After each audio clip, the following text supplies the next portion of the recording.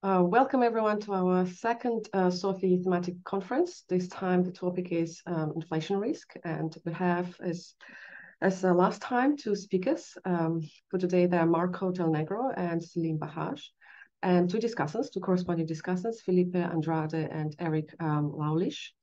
And the format is going to be like last time. So it's a 40 minutes for the speaker, followed by 50 minutes of um, presentations uh, sorry, dis discussion, and um, five minutes we reserve for um, for questions from the audience. So the way to ask to ask questions is through the Q and A box, um, and um, time permitting, we, we would like we would um, facilitate asking as many questions um, as possible. Uh, the event is recorded, and the recording is usually posted slightly after the event, shortly after the event is finished. Um, and so today, given the length of the of the whole event, two hours, um, we will not have any informal Q&A session as we usually did during the se usual seminars. Um, so if you do have any questions, please uh, post them in the Q&A box. Um, and all the speakers will be able to see those questions. So even in the event that we don't get to ask them, uh, they can always see them. Okay, our first speaker is uh, Marco. Uh, Marco, would you like to share your slides? And Marco will be talking about um, a Bayesian perspective on inference in um, survey forecasts. Fantastic. Thank you very much, uh, Katja. And thank you to all the organizers for, for inviting me to um, to present in this is in this really nice series. Um, the paper that I'm going to present is joint with Roberto Casarin from Venice and Federico Bassetti from the Politecnico in Milan. And whatever I'm going to say are my views um, and not those of the Federal Reserve Bank of New York or the Federal Reserve System. Again, the title of this paper um, is a Bayesian approach for inference on probabilistic surveys, and the application is going to be, as Katja said, exactly on risk. So what are we going to do here? Um, the paper has two contributions, and I'll spend about the, the same time, uh, half the time on one and half the time on the other. There is a methodological contribution, which we hope it's important, uh, um, which amounts to providing a new approach to conduct inference on probabilistic surveys. And then there is an application where um, we test the noisy rational expectation hypothesis using density projections. So in particular, using second moments uh, from the US Survey of Professional Forecasters, uh, using data from 82 to 2021. And the point of the application is that, you know, uh, with probabilistic surveys, you just don't have obviously information about point forecast first moments, but also about second moments, and in principle, higher moments as well. There is a lot of literature testing rational expectations using first moments from surveys, but to our knowledge, none so far on second moments, and that's that's where we come in. So uh, the inference problem. What's the inference problem? The problem is that each forecasters they don't give you their subjective probabilistic distribution from which you can compute variance, you know, kurtosis, or whatever moments you're interested in. They give you probabilities, which we're going to call Z, ZI, I is a forecaster, on uh, CUP-J bins and that probability measures the, the, the likelihood that a continuous variable of that, that the RAS, the forecast, say in this case, is going to be output growth or inflation, is going to fall within those J bins, where the first and the last bin are going to be open. So, you know, for concreteness, let me give you a few examples.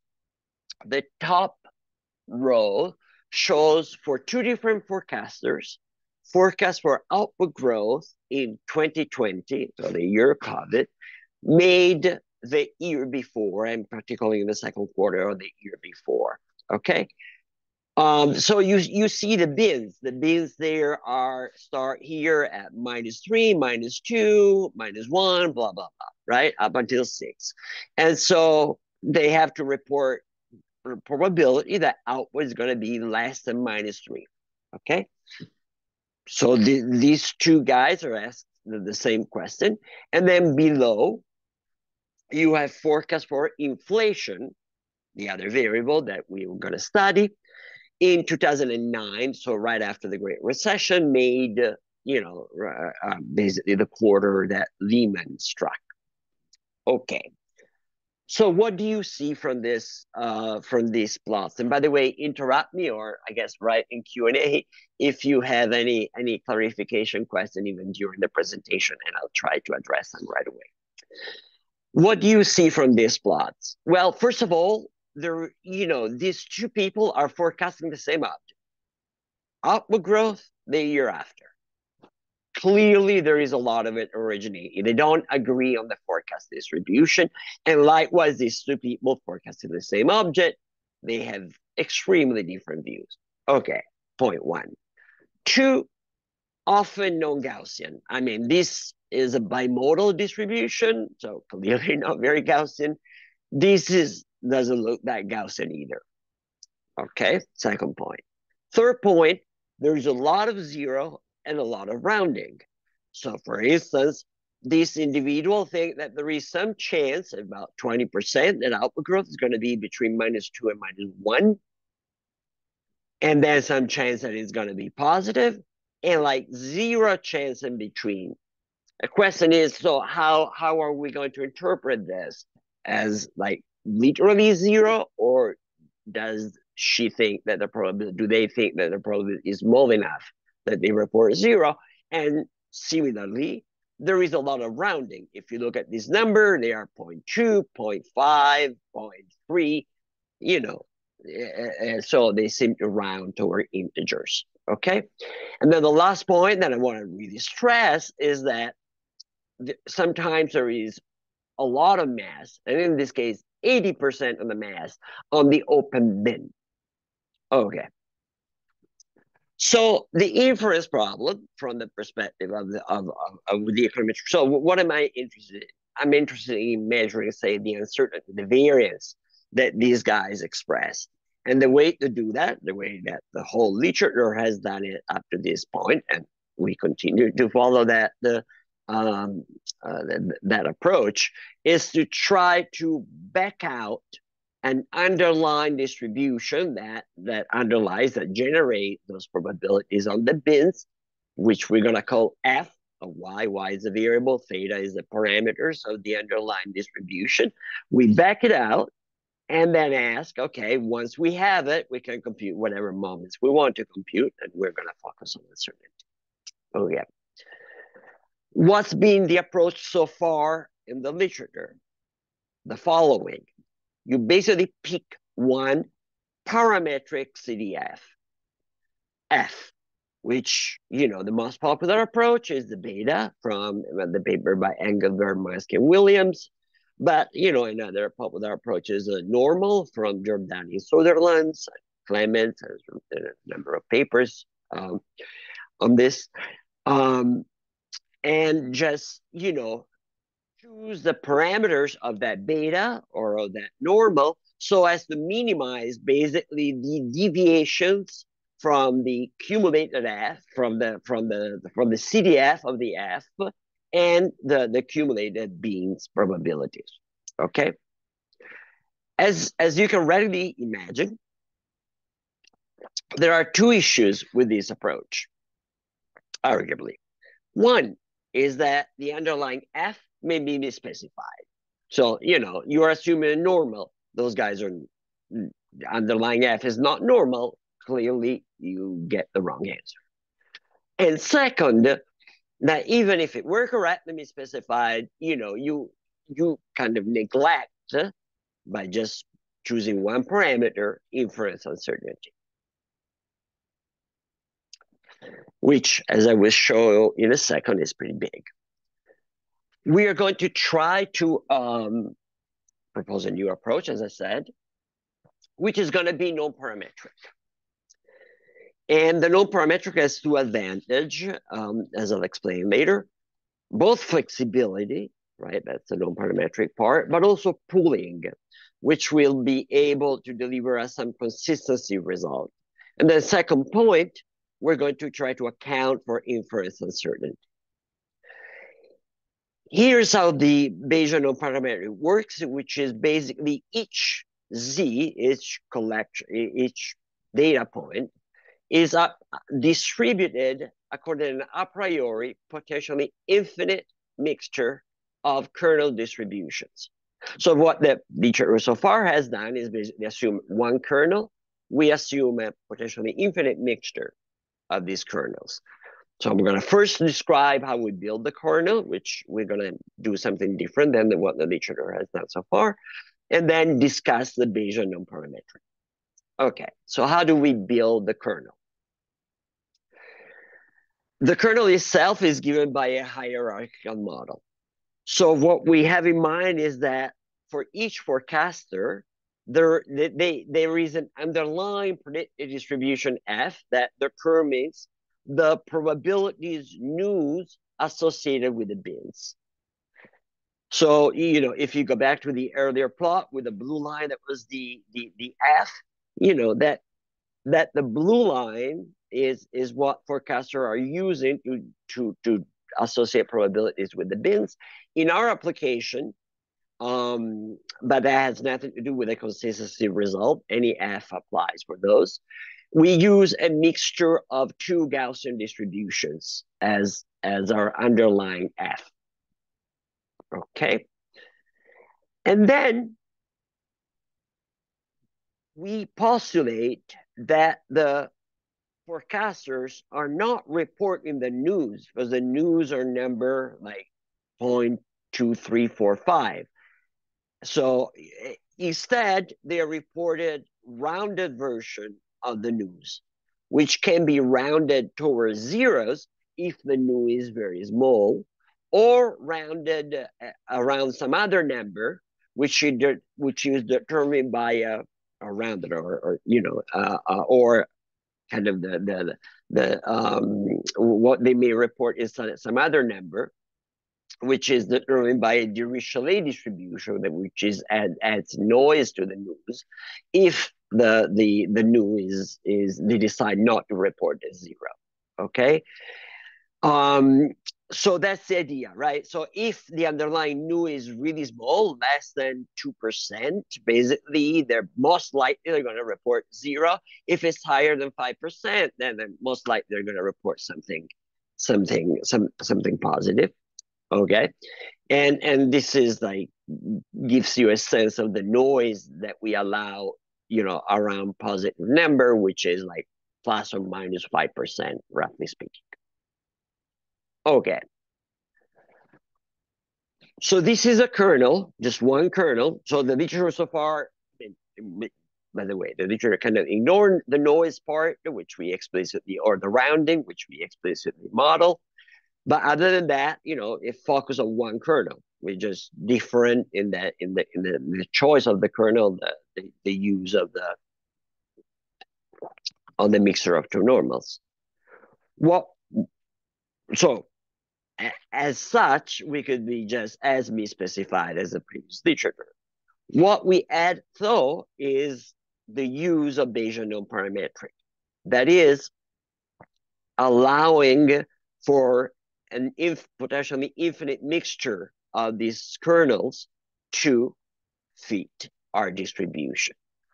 How does that work? Well, you're certainly familiar with a mixture distribution. So basically, the mixture means that among forecasters, there can be a variety of types, you know, high variance, low variance, high mean for inflation, low, low, low, low mean for inflation, and so on. Lots of noise, little noise, lots of rounding, little rounding. Okay. Now, so you have these mixtures, right? So what we could do is to fit a finite mixture distribution what the Bayesian non-parametric does is that it, it fits a potentially infinite mixture representation. And what that means in practice is that the number of mixtures that you're going to in practice you're going to fit something finite because you have a finite number of of, of data points that you're fitting it to a finite number of forecasters. But the number of mixtures for a given number of forecasters is endogenous and depends on the heterogeneity across forecasters. So that's point number one. And point number two is that you know, th these weights of this mixture a priori, there is something called a stick breaking distribution, which means that um, there is kind of a, a, a, a, prior that enforces this weight to be mostly concentrated on one mixture. What mixture that is, the that that that the data will speak to that, but it, it, it enforces some degree of pooling. And that is extremely important because such pooling means that as the number of forecasters goes to infinity, you have less mixture than forecasters. And in fact, again, as that number goes to infinity, you'll have enough forecaster per mixture that weights on, on one mixture so that you have enough data to nail the parameters of that mixture and you get consistency. Okay. And so asymptotic properties, as, as I just said, as a number of forecasters, observation goes to infinity, the posterior distributions over the z's is weakly consistent for given bins. And so what this means is that, you know, even if we screw up in terms of our kernel, right, is not exactly a mixture of two normals, the noise is not exactly Dirichlet, we still have consistency. And that's obviously very important to have a, robust, uh, robust conclusion. Now, I should stress that what we have is consistency over the data generating process over the Z's. Over the stuff that we are interested in, such as the, you know, the variance, for instance, of the F, the F itself, we're not going to have consistency just because the information that we have is limited. We only have, you know, uh, um, probabilities over the bins, and there are many F in principle that can fit those bins. So we have another result, which is interesting, maybe theoretically, not so much in practice because we have a we have very few bins in general. That it, as the number of bins goes to infinity and the bins get thinner and thinner, then basically we can nail the F. But again, this is a theoretical result, which I guess is good for our approach. You know, if under ideal condition, our approach is is is meant you know, delivers what we want. But we should remember that in terms of making inference on the F, you know, we, we, we cannot claim to be consistent. Okay, um, right, and then you know, basically, there is the, the, there are standard approaches to doing Gibbs samplers with this with this um, Bayesian parametric models, and you know, we fully espouse the uncertainty. So you know, we we have the distributions of these parameters, and whatever object of interest, say the variance of the f, we use it computing the whole the whole distribution. Sounds great. Uh, the priors. You know, there are a few parameters. What all I'm going to say about the priors is that we use exactly the same prior throughout the whole sample. So our sample goes from 82 from the 80s, where inflation was 10%, to 2021, where inflation is again almost 10%. And, and uh, you know, but obviously uh, was much lower before. So we use the same prior throughout and the very same prior for inflation and output. So no, no difference. And, you know, we, we'll see that there, we find that the procedure to be very robust uh, to this. Okay. Let me give you a few, uh, quickly, a few um, go back to the examples that I showed earlier and, and tell you how our approach differs from what has been done before. Let's start with the, the top panel. So here is the histogram that I showed you earlier. On the middle, in the middle column, I'm showing the PDF. The little thin gray lines are our approach. And again, as I said, you know, we we incorporate uncertainty, and so I'm showing all, you know, all basically a, a, uh, a thousand rows from our from our posterior distribution. And on the right hand side, I'm showing the CDF for the same object, where the crosses are the cumulated zetas. Okay. And here, you know, the, the histogram are the, the same thing as this. On top of this, I'm also going to show you what the Gaussian distribution, you know, this you see this line here. This is what you would get with a Gaussian distribution. And this dash and dotted line is what you would get with a beta distribution. I mean, not the, beta distribution is bounded, by the way. Not very surprisingly, but you know that that's a little bit of a, of a, of a cheap shot you know, in the case of bimodality, both the Gaussian and the beta are completely off the mark. You know, they don't fit the CDF, and clearly they don't fit the PDF either. Okay.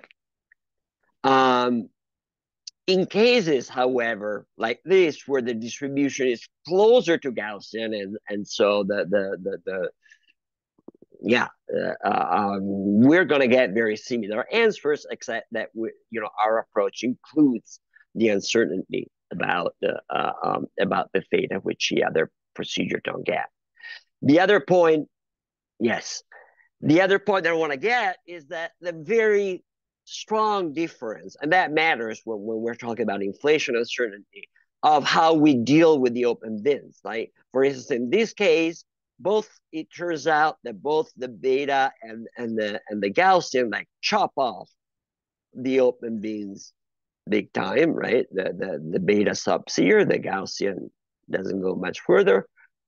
In our approach instead, you know, we fully incorporate the fact that this person is putting 80% of the mass on the open bin. We really have very little uh, information therefore about the left tail, and that's characterized here in this in this um, in our posterior distribution.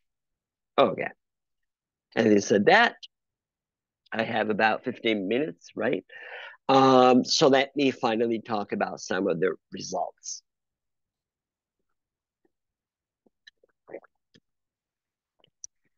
What I am going to show you now is the evolution of subjective uncertainty by individual respondent, starting with output growth. So what I'm uh, output growth. These are the, the projection for output growth next year conducted in say 1982 second quarter. I'm picking the second quarter, but these plots are about the same no matter what quarter you you of the year you're looking at. By the way, this this SPF is done four times a year. In in um so this is the second quarter. Okay. The crosses, the little crosses here, are the posterior mean of the subjective uncertainty for each of the forecaster. They are connected by thin gray lines whenever the forecaster remains the same from one survey to the next. And the point of this thin gray line is, well, the fact that they're not flat. And those these fellows change their mind sometimes quite substantially between one period to the next. And then finally, I am also showing you the average subjective uncertainty across forecaster. This is the, the thick dash black line. Okay, so what's what points do I want to make? A, there is huge variation in subjective uncertainty across forecasters. I mean, just look at this number. I'm plotting standard deviations, by the way, right? You know, and and this person has a standard deviation below one. This is like three times, two times as much. Okay. Second, as I said, this forecaster change your mind quite quite quite a bit.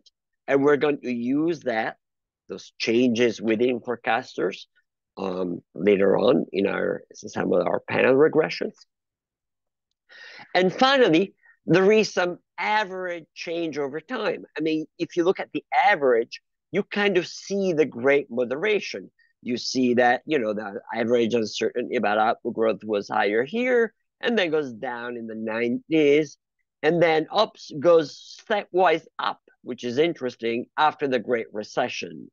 Um, suggest, suggested that some of the risk there um, is, you know, remains in the mind of the forecasters, and then again goes up, not too surprisingly with with the with COVID. Okay, so that was output, and here is inflation. Again, huge uncertainty, lots of changes within forecasters as well.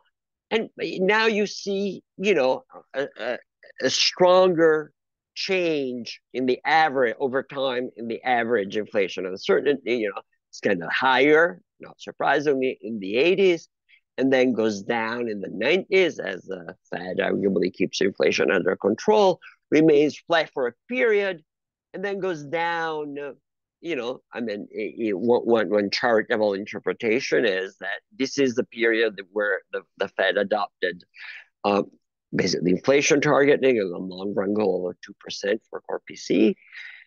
And then what's really interesting is that even during 2021, for the year after, it stays low.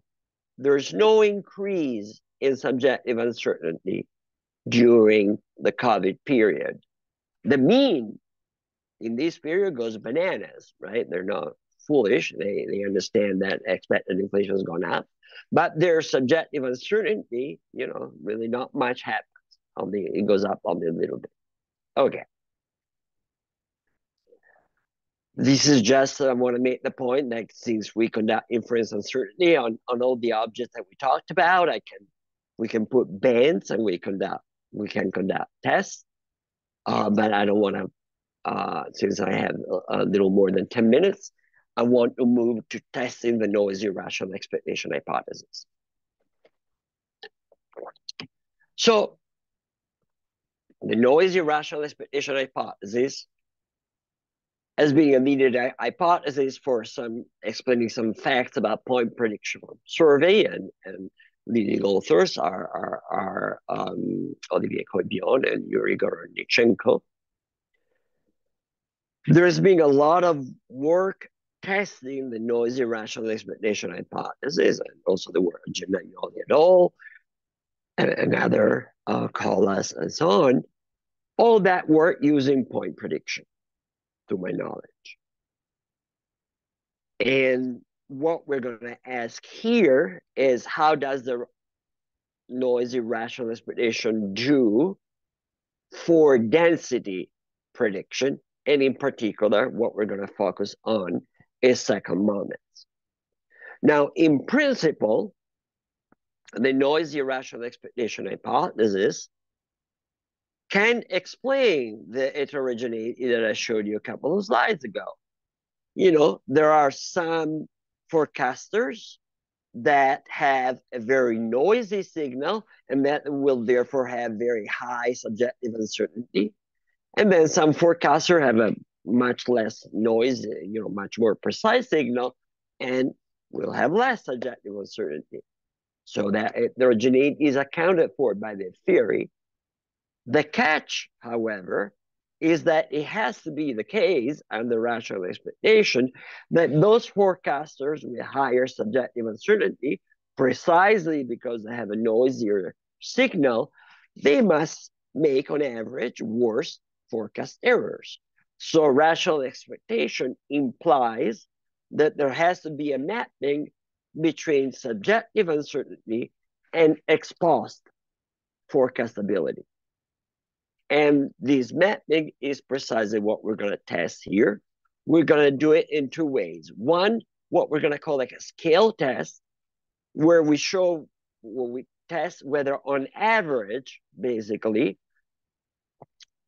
subjective at the denominator and objective square forecast errors are going to be aligned.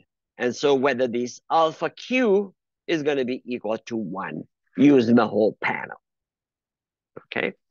And then a variation test. So this is just on average, right? On average, basically, another word that that that that the Beecher has used for this kind of test is overconfidence or underconfidence. Okay. Then the second test is going to be a variation test. If, which is going to look at the follow. If my forecasting uncertainty changes, right, I become more uncertainty, more uncertain from one period to the next, or across forecaster, if you are more uncertain than me, then will you have higher um, forecast errors? Okay, does this thing map one to one into forecast error as, as, as it changes over time or across forecasters? So let me start with a scale test. So the overconfidence. Here, okay, let me tell you what we show.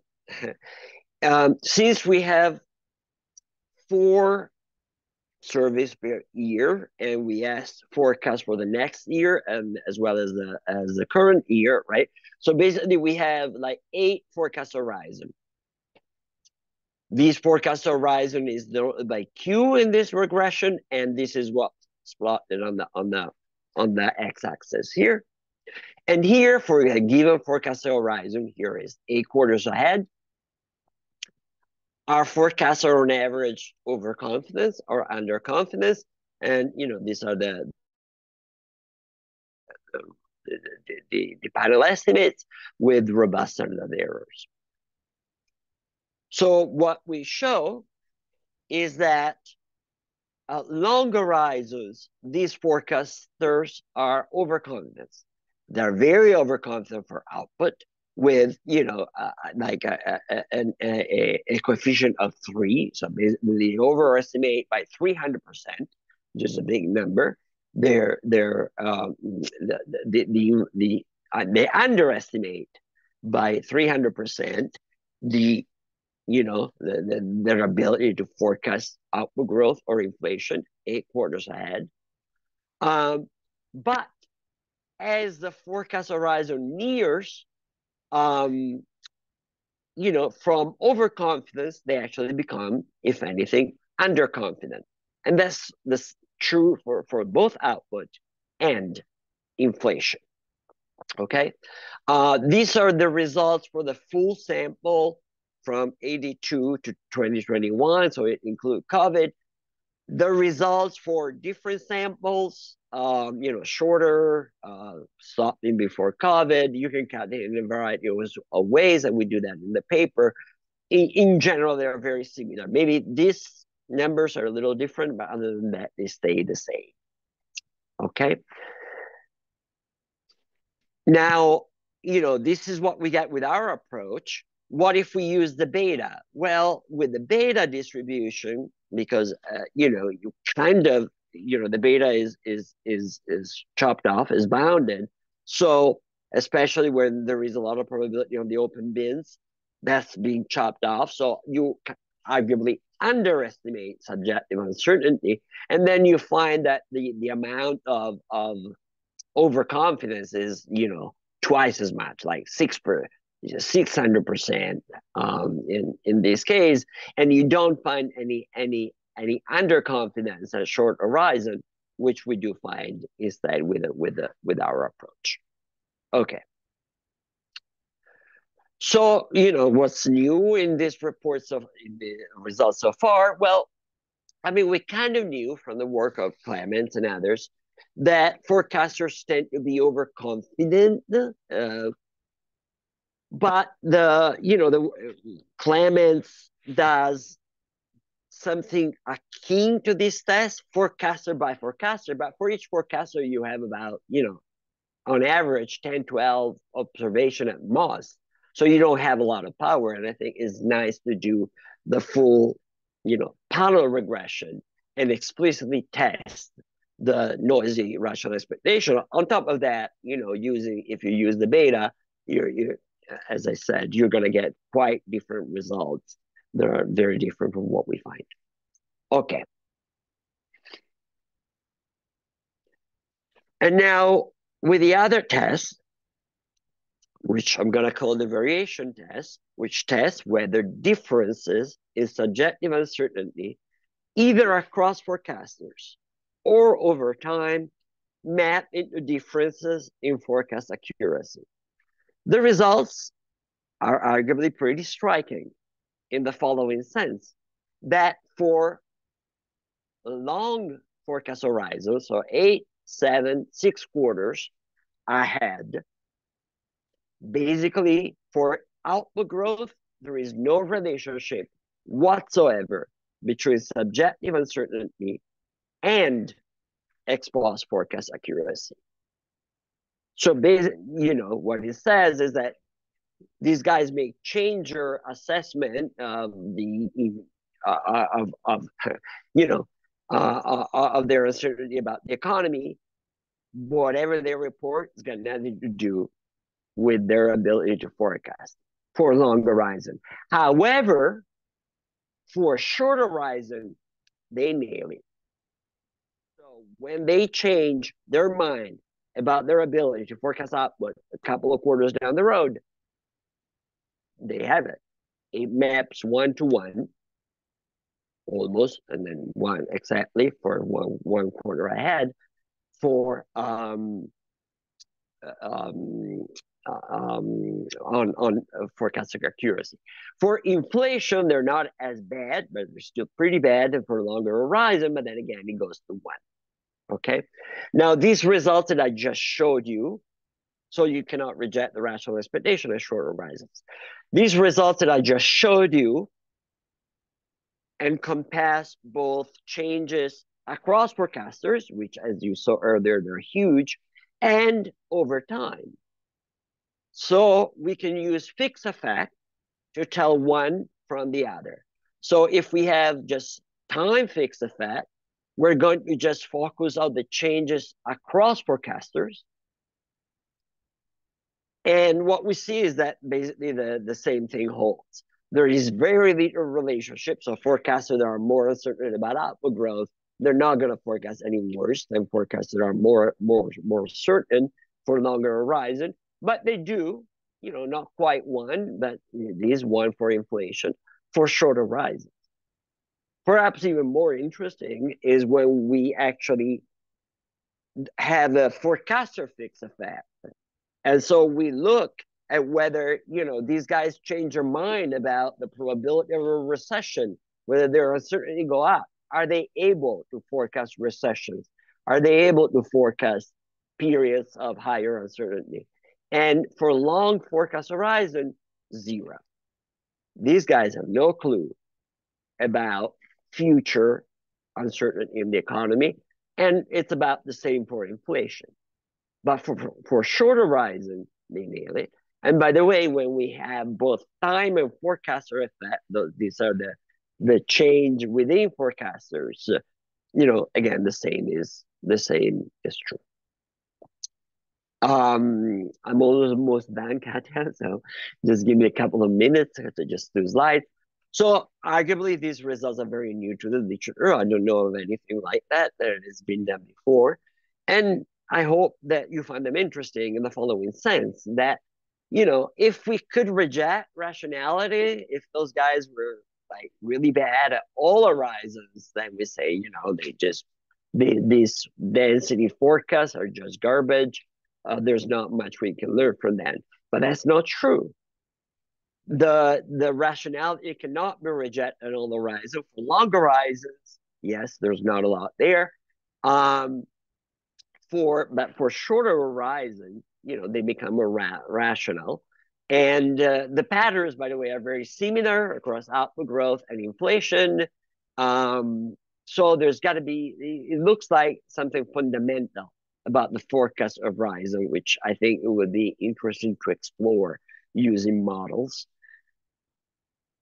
And then, you know, I guess this result bring to mind, you know, uh, ask some question about the usefulness of reporting survey uncertainty, right? So my colleagues, for instance, at the survey of consumer expectation in the New York Fed. You know, they plot every period. Uh, you know, they tell you how uncertainty is going up, uncertainty is going down at sort uh, you know, for inflation, say, uh, at the three years ahead horizon. I mean, you know, these results suggest that even for professional forecasters, they have no clue.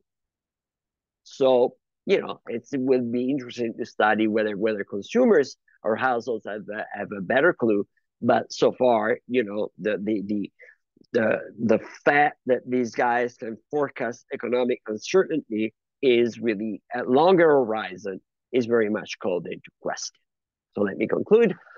Um, we propose a Bayesian non-parametric approach to conduct inference and probability surveys. We apply our approach to the SPF, and we test whether these projections, you know, in cycle moments are consistent with the noisy irrational expectation hypothesis. We find that in contrast with the theory, for horizons closer to years, there is no relationship whatsoever between subjective uncertainty and forecast accuracy, both across forecasters and over time and on the implied relation or inflation projection, whoever has the horizon shorter, the relationship becomes one to one as theory predicts. Thank you.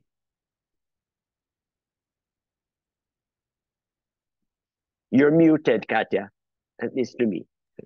Thanks, Marco, uh, very much for your talk. There are currently no questions from the audience, so we can proceed to the discussant straight away. Um, yes, Philippe, yeah, we can see your slides, yeah please.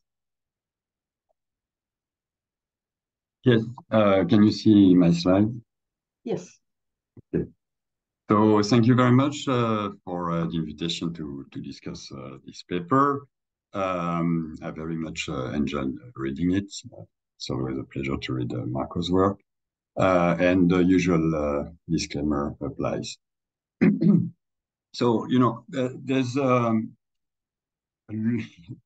huge amount of uh, papers that use uh, uh, survey data, but they, most of them use point forecast. and this has been, you know, applied in different for different topics like assessing uh, the forecast performances of uh, this uh, survey. It's quite a well-known feature that it's hard to beat the consensus that is the average of this point forecast of professional forecasters. It's also something that has been used to discuss how expectations are formed, in particular, as Marco has alluded to, um, you know, to document deviations from full information rational expectations and, you know, what could be the alternative model. It's also something that is used to discuss the credibility of the central bank, in particular of long-term inflation expectation, and whether there are risks to uh, the uh, to to the target and the risk to see uh, the anchoring of inflation expectation in the long term.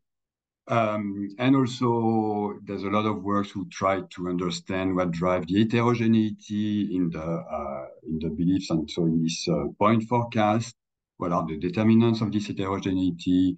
Uh, what is the impact of uh, this heterogeneity on financial market outcomes or in macro outcomes? Okay. But there's much less uh, use of probabilistic surveys, uh, which this paper is going to, to do. and, and this is um, you know, uh, this is somehow uh, uh, limiting the literature because, you know, the use of the, those probabilistic survey can be useful to, to address questions that are also key, at least uh, for uh, people working in the central bank. Uh, so, for instance, how do you measure macro uncertainty and the perceived macro uncertainty? Uh, what are the determinants of macro uncertainty? What is the balance of risk? You know, uh, are risk to the upside uh, more important than risk to the downside?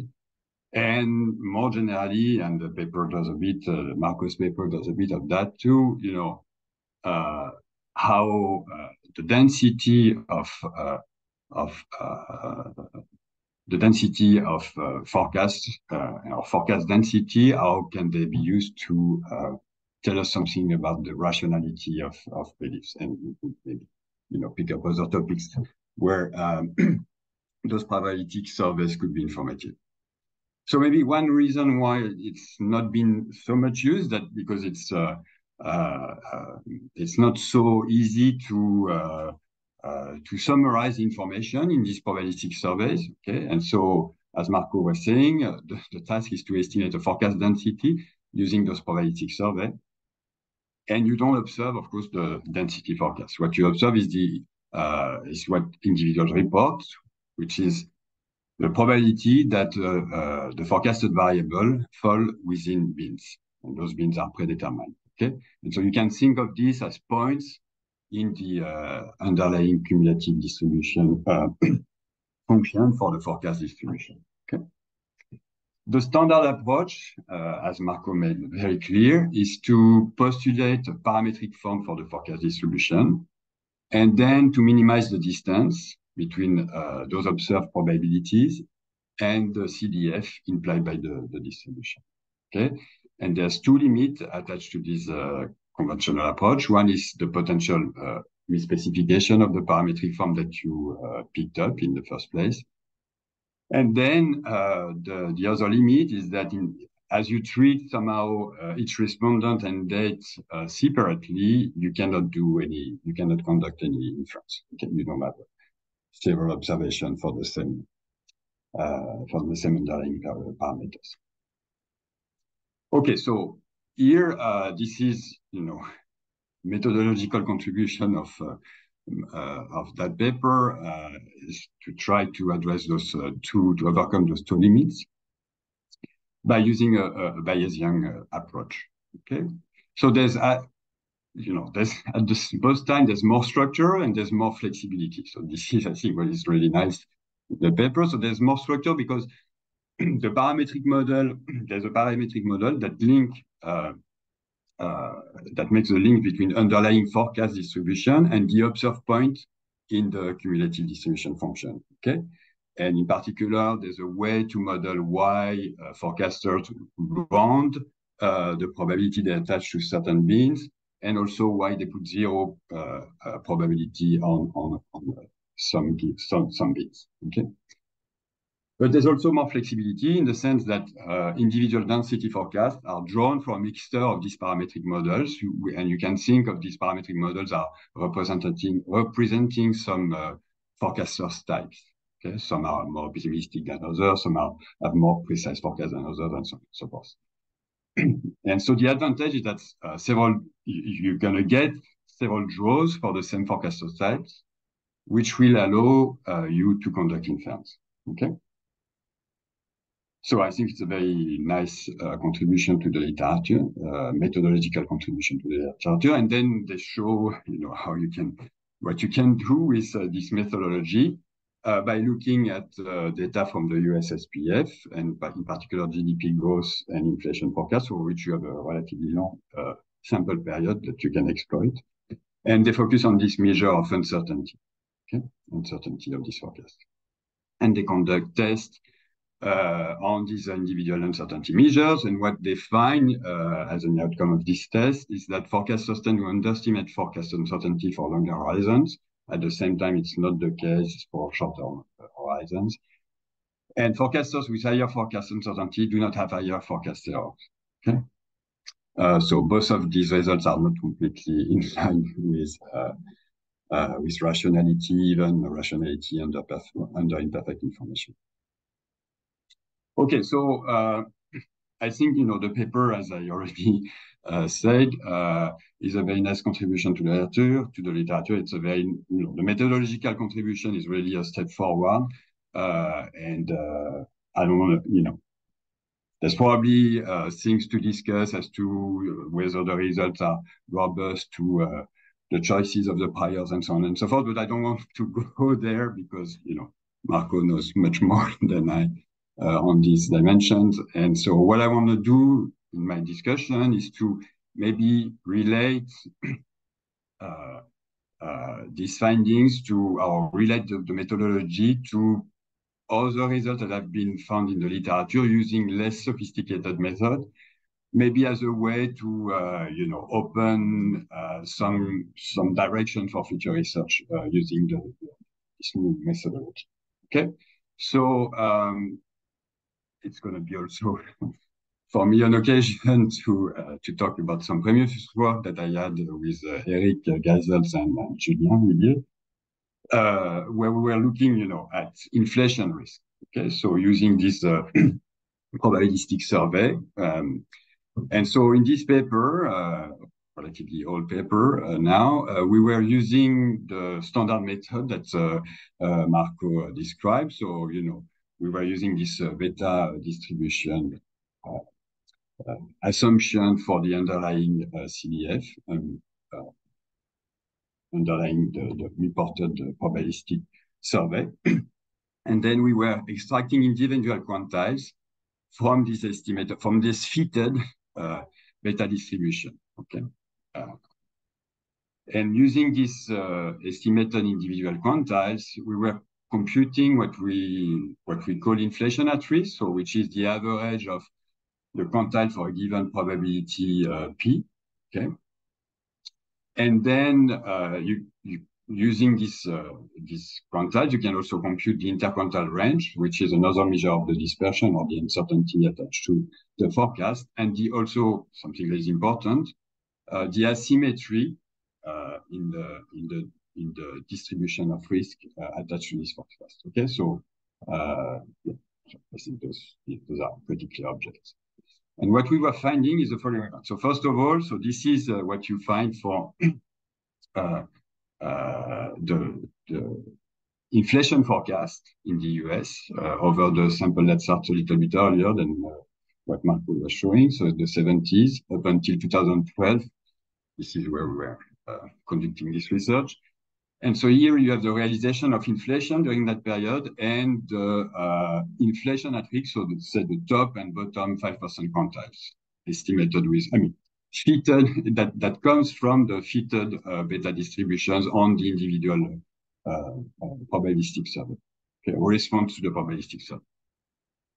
And what, what you see is that it's a bit consistent with what Marco was showing, that, you know, there's quite a lot of uh, uh, dates or periods where the realizations were completely uh, outside the, the bands uh, defined by these uh, top and bottom 5% quantiles. Okay, and if you look at the frequency of uh, the time the, the realizations were outside of the band, you find that it's 30%, almost 30% outside of this. So, I mean, something that could be associated with a 10% band interval.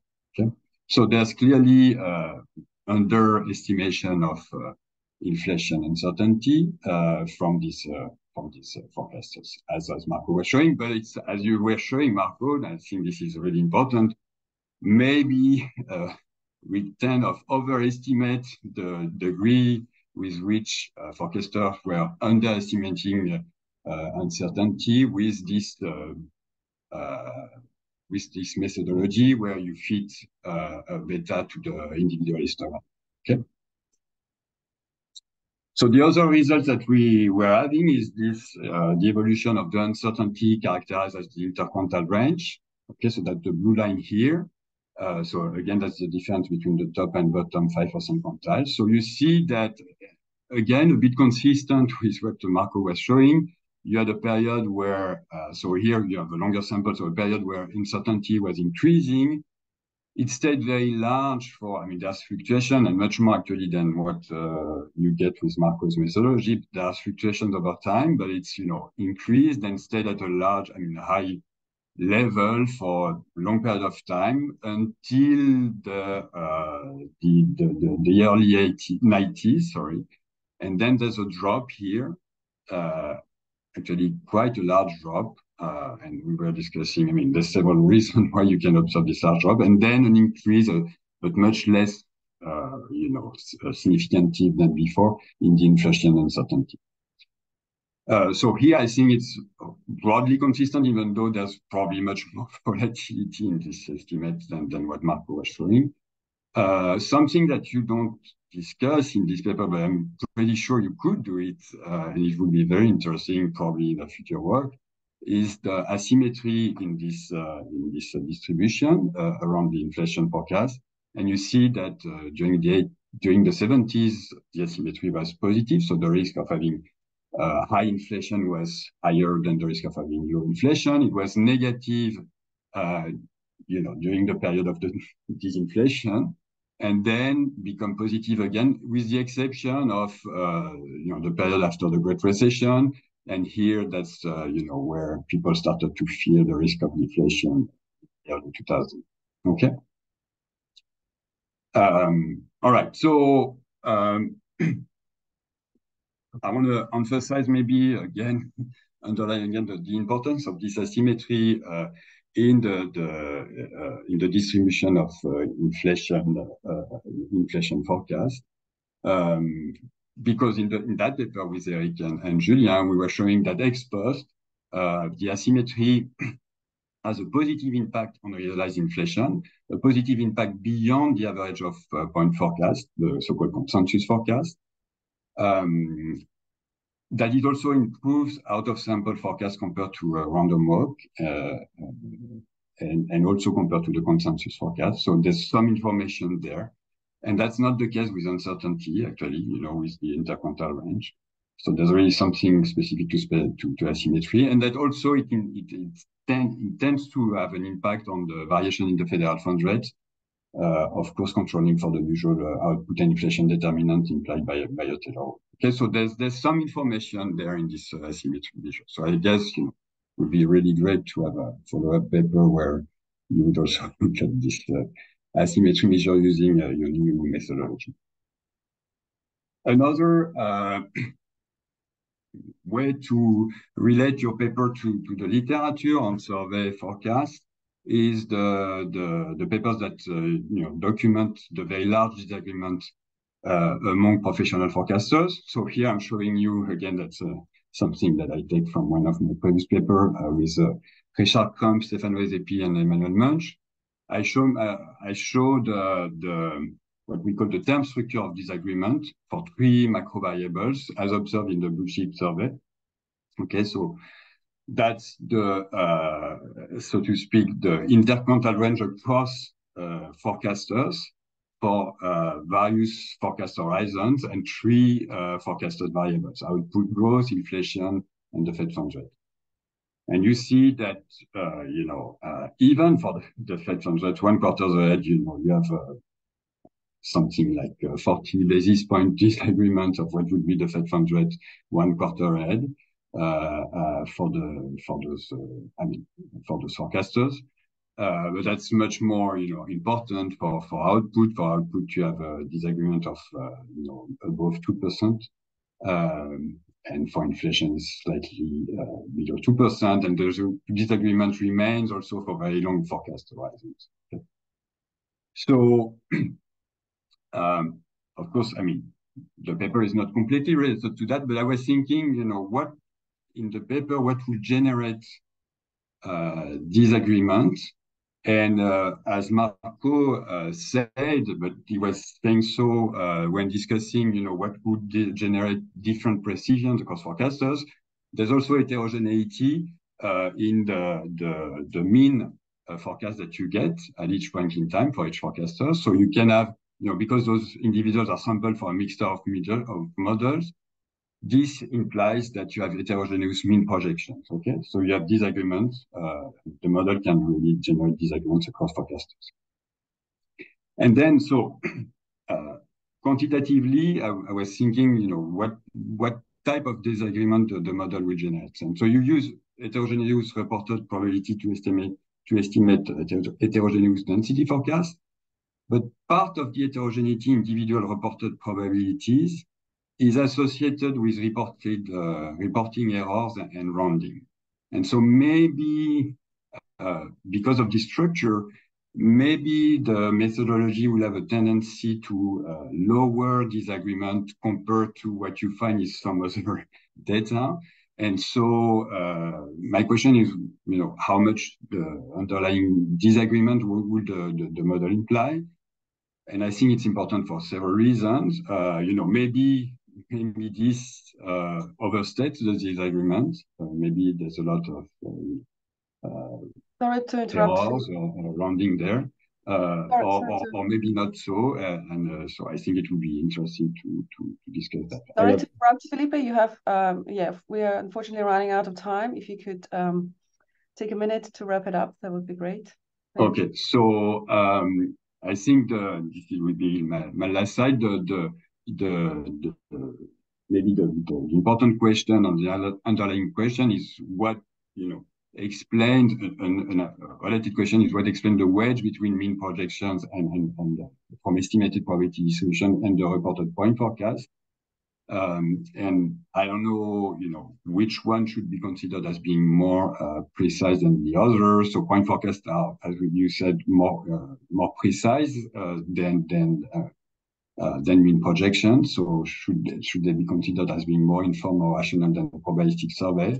At the same time, like we saw, there's information in probabilistic survey that goes beyond those uh, point forecasts. And so I think going forward, a better understanding of the link between uh, individual density forecast and point forecast uh, would be needed in, in future research. But uh, great paper, uh, I really uh, advise everyone everyone to to read it. Um, thanks so much, Philippe. Um, so as unfortunately we're a little bit out of time. Marco, there is a question, and I believe you can answer it online in Q and A box if you would like to do that. Uh, but we would um, probably need to move to Saleem uh, if you'd like to upload your slides. Okay, one moment, please. Let's go to full screen. Yep, we can see that. Whoops. Is that okay? Good view? Yep, we can see that. Okay, perfect. So again, thanks very much um, for inviting me. Uh, it's, it's, very nice to, to give this uh, talk at the seminar series. Uh, this is joint work with uh, Robert, Sitong, and Ricardo and this paper, we're actually interested in, in another proxy uh, for inflation uh, expectations rather than, than the surveys, which is prices derived from inflation swap markets. So what I plotted here in our uh, first slide is the break-even price of uh, inflation swaps at a one and 10 year horizon for the US and the UK. Actually, we're going to be focusing primarily on the UK market uh, for this talk, which is why I'm showing it. And in much policy circuit, uh, circles, these two, well, these series get a lot of attention, as, as we all are aware. Um, they're a great high frequency gauge of what market participants uh, potentially expect inflation to be uh, going forward. And there's also a, potential to, to, fit a spot curve and derive uh, long-term expectations of inflation uh, from these break-even prices. However, you know, the, these are prices that are arising from an opaque OTC market. So it's important to ask, you know, how that market uh, functions, uh, who are the main players, and who ends up sort of bearing inflation risk in the financial system. Uh, the market is also likely to be frictional so while we can think about the, these price series as reflecting potentially expectations of inflation and also compensation for inflation risk, they may also reflect uh, liquidity premium from from trading constraints and other frictions. And you know, I didn't want to get at a cleaner series and just you know, the raw the raw prices reflecting the fundamentals. And last, um, you know, the price that we're seeing here reflects the aggregation of, of uh, beliefs of a variety of different different agents. And so we'd like to know, you know, whose whose beliefs have really been encoded in, in these prices, how much dispersion is there? There's just a few players actually driving the swap prices that we see. Okay. And so that's the sort of the questions we tackle uh, in this in this paper. Uh, so our starting point is that we have uh, uni the universe of transactions uh, in the inflation swap market uh, for the UK. The UK is actually quite a, a nice testing testing ground because it has a very liquid and deep uh, inflation swap market as a result of its uh, pension fund sector having real liabilities, which is why this market is quite prominent there. I'm going to start uh, by using this data to show you a few facts. So what I want to show you is that in, in at least in the UK context, uh, the financial system in the financial system, the banks end up being uh, net bearers of inflation risk. They sell inflation insurance uh, to the rest of the financial system. Uh, and they do so in quite a segmented way across maturities. So at the longer end of the market, you have uh, pension funds uh, buying insurance uh, from banks, whereas uh, at shorter maturities, you see basically hedge funds speculating. They buy and sell uh, inflation swaps um, to banks, depending whether inflation is essentially rising or falling. They speculate to a greater extent. And so you have this segmentation, different participants um, being present at different segments of the market.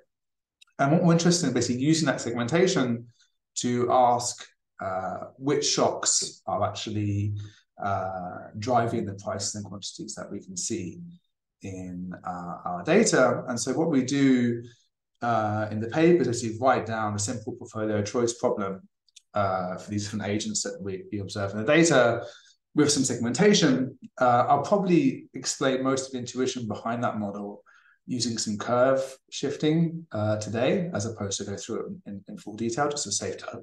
Save time, excuse me.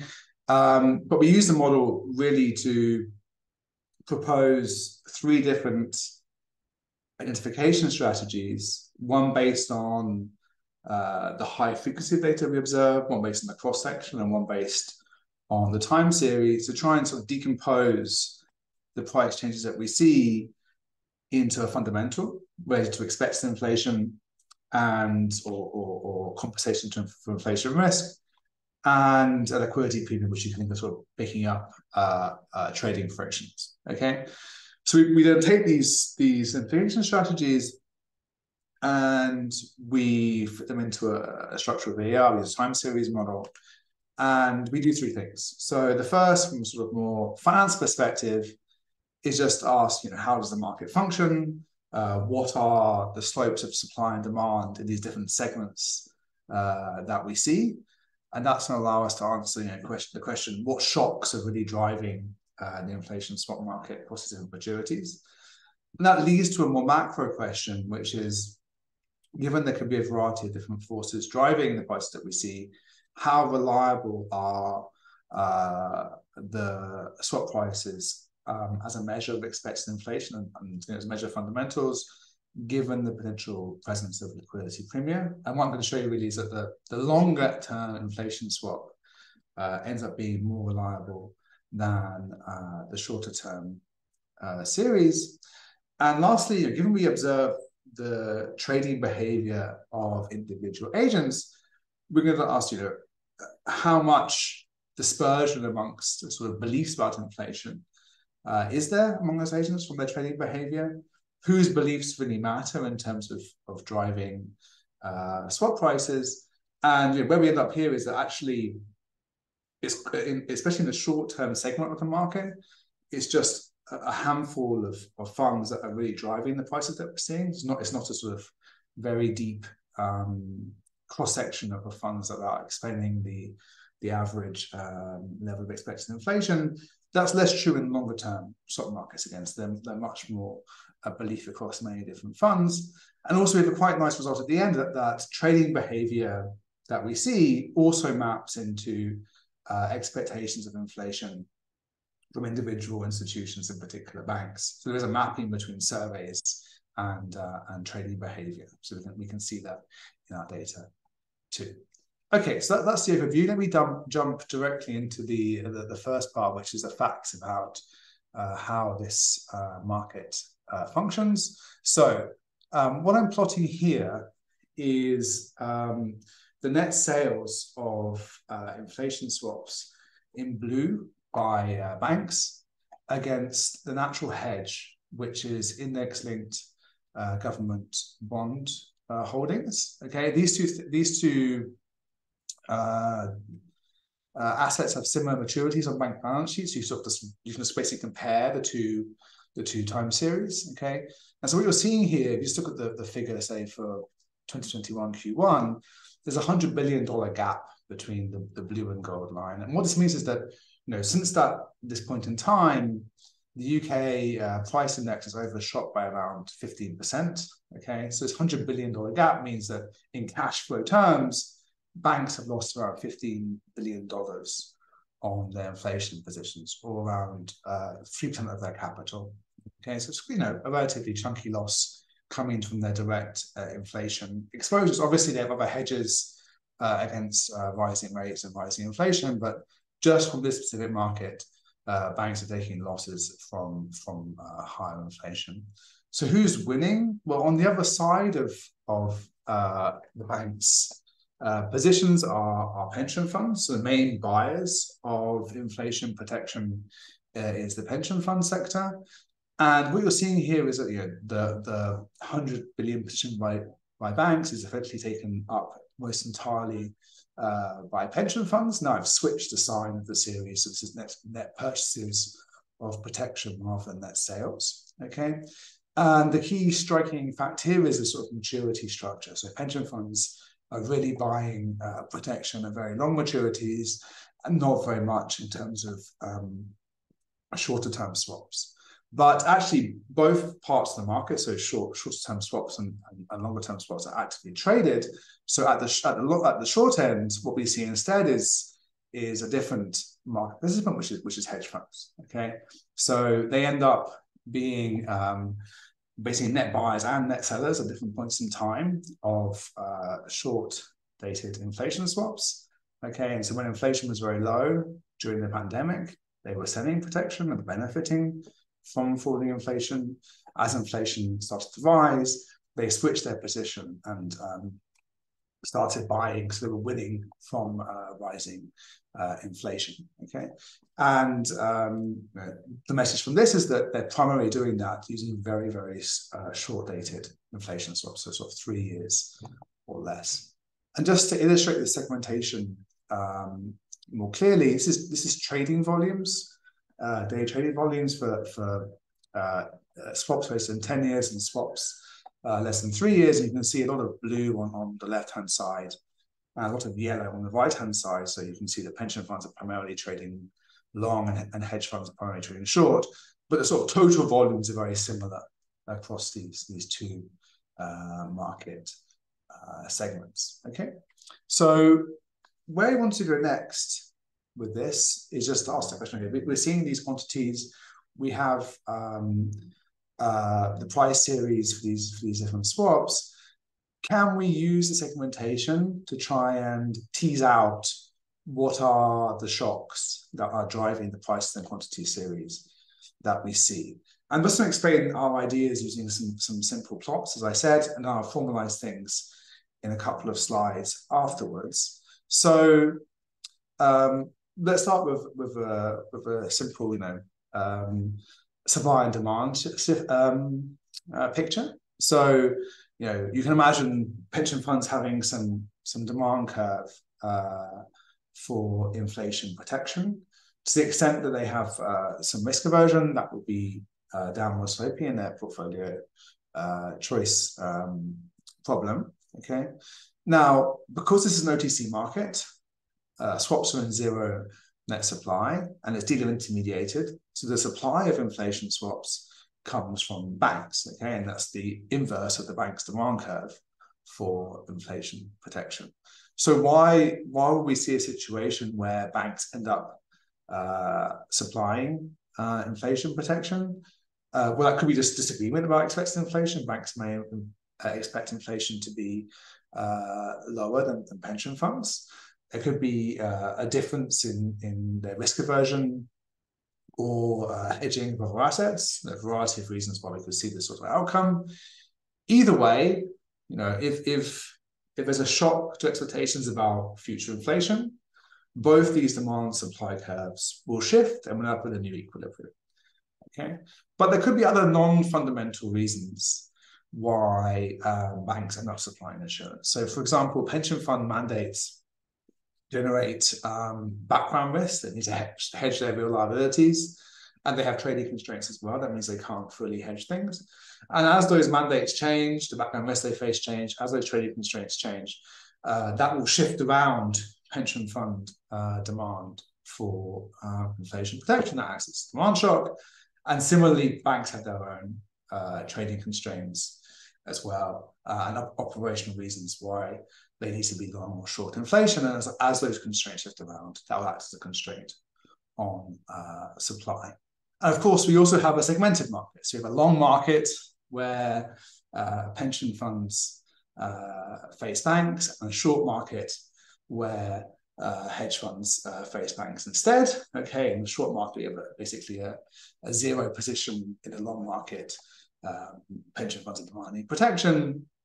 Of course, a supply shock to the banks is going to shift uh, prices in both markets, whereas there might also be a hedge fund uh, demand shock as well, which is moving things around in the short market. Okay, so that's sort of the idea behind how our model works. We sort of formalize that uh, in, a, in a sort of very straightforward CARA normal portfolio choice problem. So we can think about a mass of, of, of pension funds indexed by I and F index pension funds. They have some uh, initial wealth, AFI, a risk aversion parameter, gamma FI, uh, and they can buy a long-term inflation swap and another asset. They have some beliefs about inflation, so pi fi is equal to mu fi times the average belief uh, across all market participants, and they face some, some background risk and some generic trading constraints. When you sort of plug that into your, your standard CARA framework, um, and you allow for risk aversion to scale with wealth, you get this sort of demand curve where the, the desired demand for inflation protection scaled by wealth is just a downward sloping function of the price, depending on risk aversion, a fundamental. So this is expectations of inflation and desired compensation for uh, inflation risk. And then a, a, term here which reflects these last two uh, objects, background risk and, and sort of generic trading constraints on the ability to hold uh, inflation protection. What we do then is have a short-term market where we, we add hedge funds who have the same problem and you know both hedge funds and, and uh, pension funds are facing banks who are active in in both markets, and they're basically the supply curve um, uh, that that uh, these two institutions are facing. Okay, so when you put this all together, you get uh, a demand curve here from pension funds in, in the long market, uh, a supply curve from banks in, in the long market too, with equivalently demand and supply shocks essentially, and, and then two fundamentals. And you know, I use capitals to denote prices and quantities uh, in the uh, short market. This is the quantity demanded by hedge funds, the quantity supplied by banks, and then you know, two shocks: a supply shock and a demand shock, and then uh, a fundamental as well. Okay, and so you can think about there being a frictionless price, which captures what the price would be absent any other shocks, which arise from trading constraints or say background risk, and some liquidity premium, uh, which arises from uh, the actual shocks. Okay, so what I described to you essentially is a system where we see two different prices: a long-dated price and uh, the short-dated price, two different quantities, the quantity demanded in in in, uh, in both markets, um, and we have four shocks. Right, we have a, a fundamental shock, a shock to hedge fund demand, a shock to pension fund demand, and a supply shock uh, uh, to banks. Okay, and so our goal really is to say, okay, we have these these four different time series. Uh, how do we get at the um, uh, the shocks that are driving the time series that we see? And in estimation terms, you can add dynamics of a simple VAR. So this is a classic time series identification problem, uh, and there are various tools to solve this. Um, so the first thing we do is a simple heteroscedasticity approach. So uh, we think that, you know, we know that on certain days, uh, particularly when inflation is, uh, released, but you can also, uh, sorry, inflation data is released, uh, but you can also look at margin policy announcements as well as an alternative. there's a lot more information about inflation and its future path. Okay, so we say, look, those on those dates, the relative variance of the fundamental shock went up we can use that as, as a identification strategy, and, and that's clearly there in the data. We just look at the, the shift in relative variances um, on news and inflation announcements. You you, um, you uh, see the shift in relative variances of the shocks, and you know to the extent you have a shift in variances, uh, you can use that to identify um, the uh, impact matrix in the VAR. The second thing we do, which is, is slightly more novel, is exploit the um, uh, and Koijen um, results on granularity. And that's to say that you know, when we have relatively large institutions in uh, our data, idiosyncratic shocks don't necessarily uh, net out. Okay, and it is the case that in the inflation swap market, you have some very large players and some relatively small players, and the shocks of those those uh, large players are not able to sort of go to zero in expectation once you weight them across um, all uh, institutions. Okay, so what we do here is essentially fit a factor model. So the, the demand curves we have have a factor structure. Okay, they have a, structure where we say uh, uh, individual institutions' demand is a function of fundamental, expected inflation and compensation for inflation risk and a liquidity premium. We can get these idiosyncratic uh, shock to demand from individual institutions' um, uh, uh, trading behavior, and then say, look, if we take the size weighted average of that, that should be a valid instrument uh, for demand shock. Um, particularly if essentially there's granularity in the data, we can do it for pension funds, we can do it for hedge funds, we can do it for for, for banks and, and construct instruments. And then, then obviously the fourth shock emerges as a residual, which is the fundamental shock. Um, now, you know, just to be clear, there is there is clear evidence of, of uh, granularity in this data. As I mentioned, there's some very large institutions and some, and some very small ones. So, you know, the Pareto parameter is 0.13 and the power law coefficient is around minus 0.9. Okay. Uh, the last thing we do, this is our third strategy, is basically rely on um, the high frequency of the data to a set of sign restrictions. So you make two further assumptions. First is that essentially hedge funds react faster than banks, who react faster uh, than pension funds to fundamental news about uh, expected inflation. So basically, the news are higher for hedge funds than they are for banks and, and they are for, for, for pension funds. And that means that when there's a when there's news about inflation as a fundamental shock, hedge fund demand rises more than, than bank supply falls. Okay, so a fundamental shock looks like a demand shock in the short-term market, but the opposite is true in uh, the long market. Okay. The second assumption we make is something we call um, desk separation. And that means that you know, imagine that there's a bank who, who operates in this market. Uh, they'll have a desk that you know focus on their pension fund clients and provides them with long-term inflation expectation depending on their trading needs, and a desk that fo focuses on their hedge fund clients and um, provides them short-term inflation protection on the trading needs. Those two desks are during the day sort of separate. Uh, they have some trading limits, they have some capital allocated to them, at the end of the day, the bank meets and sort of reallocates capital to these two funds. But it means that, so it's these two desks, it means that during the day, a shock to demand in a given market is not met by uh, a shock to supply. Okay. And that leaves a set of sign restrictions where uh, a demand shock in um, uh, in the short market uh, it raises uh, prices and quantities in that market, but there's nothing in the long market the opposite is true uh, for for uh, the long market. A supply a supply shock is a plus minus plus minus in both markets, and this fundamental shock has this plus plus minus plus pattern. Okay, so those are the three strategies that we we show. Uh, and what's really nice about this is you know, we can we can take any of these two strategies. They they really rely on different sources of variation in the data. Uh, so as I said, you know, the, the, the the um, sign restrictions rely on much about timing and a high frequency data set. The granularity uses the cross section of trading behavior, and the um, approach relies on basically a long time series of many inflation releases for it to work.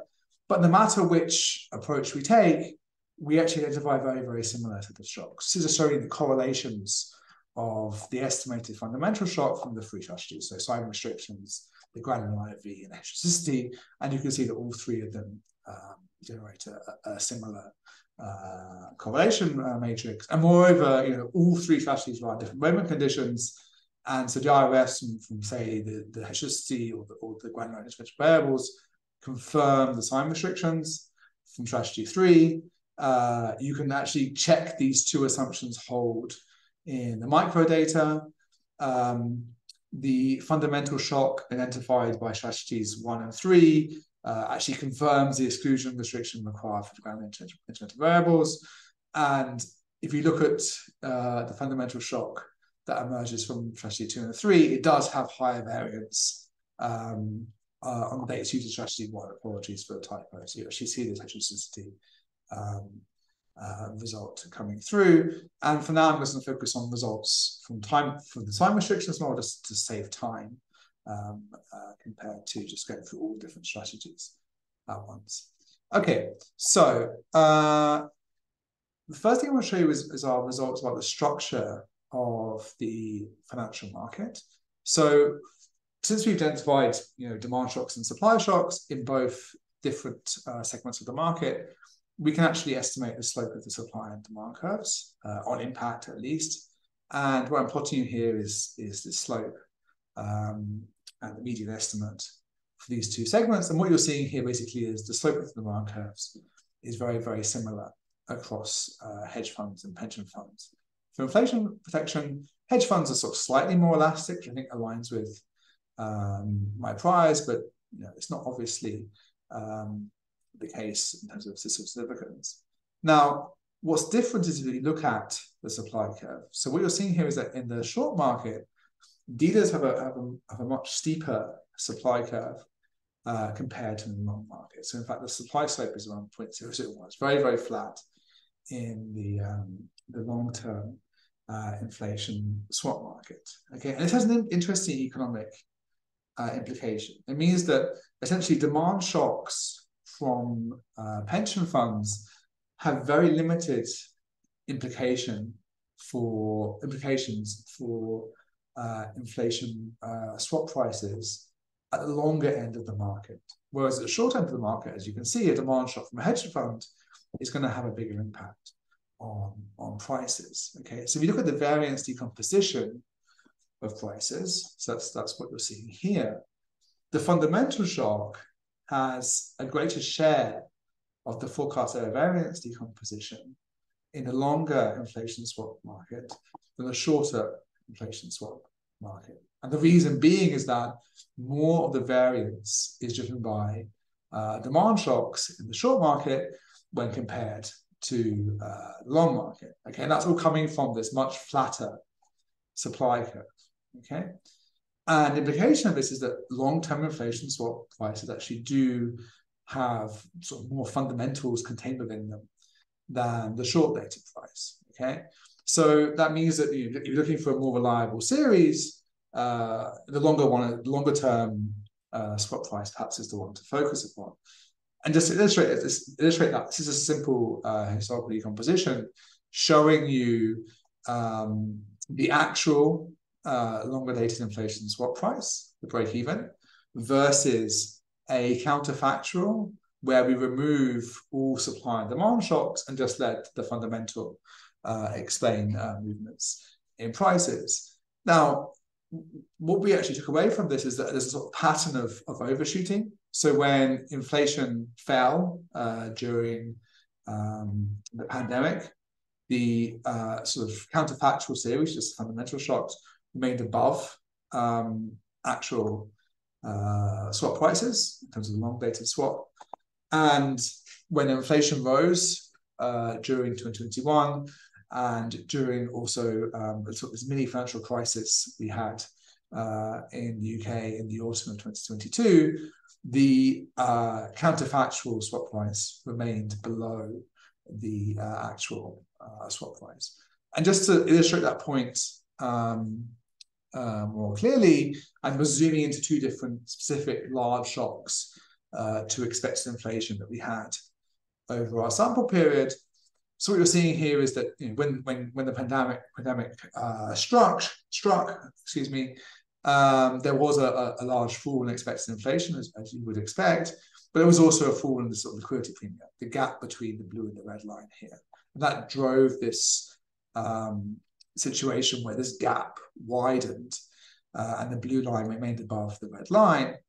If you look at an alternative positive shock to inflation, which was the, the Russian invasion of Ukraine, and that caused a, a very sharp increase in energy prices uh, in, in the UK and, and a rise in, in expected inflation, then we do see this, this sort of fundamental shock kicking in and raising expected inflation, but also the, the the liquidity premium, the gap between this actual and counterfactual on the previous slide, also went up and led to some overshooting uh, as well.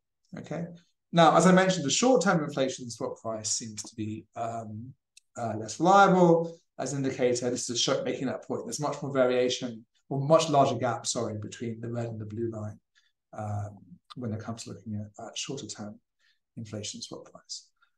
The final point I wanted to make is just that, you know, we obviously are estimating something we, we call a liquidity premium uh, here, which is this gap between our fundamental price and, and, the actual price, essentially. And another way of proxying liquidity is just to ask, um, uh, what's the, uh, the bid-ask spread in, in, the inflation spot market? And this is showing you the, the autumn uh, crisis in the UK. We have a very nice correlation between our estimated supply shock from dealers and the the, um, the one year uh, bid ask spread um, that we see, the one year swap bid ask spread that we see in the in the sort of uh, raw data. So there is something here regarding the correlation between our measures and simple market proxies uh, for liquidity. Okay, so in my last, I guess I have what seven eight minutes to go.